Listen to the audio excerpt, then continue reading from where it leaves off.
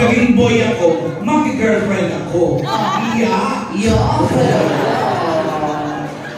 Ayoko nang sa girl. Bakit naman? Ay, dahil parang isang kagambang balahibuhin.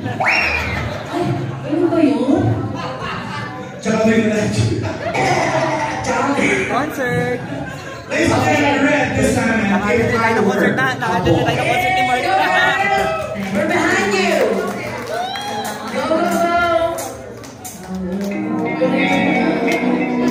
Just don't forget.